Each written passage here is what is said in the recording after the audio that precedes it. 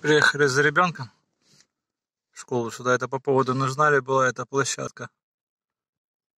Ну, ну точнее, как порт-площадка. Вот это новая. Вон, смотрите, сколько тут детей на ней. Дети вон, как радуются. Новой спортплощадке. Вот. Вон детвора на автобус идет. Сейчас автобус будет развозить детей по ближайшим. Короче, четыре села здесь учатся.